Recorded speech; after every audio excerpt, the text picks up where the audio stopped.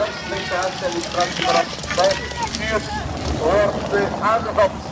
Zeven leiders, we hopen straks de exacte samenstelling van dat zevental te kunnen geven.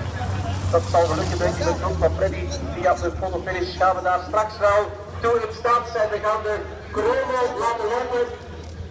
We zien onder meer uh, rijders van de Wanty-groep Colbert, van de One Pro Cycling, van de Wannabe Brussel, van Topsport Vlaanderen, van Oase zit er ook eentje bij.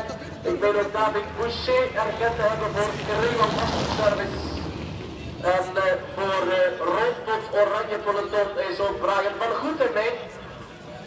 Dat zijn de zeven koplopers. Straks volgt de exacte samenstelling. Dan gaan we u alle namen van dat zevental nog een keertje mooi kunnen opzommen. We gaan eerst kijken naar de voorsprong, naar het tijdsverschil dat er op dit ogenblik is in deze wedstrijd tussen de zeven leiders en uh, het uh, eerste achtervolgend gedeelte van de grote groep. Zometeen op weg richting de top van Lokerenberg.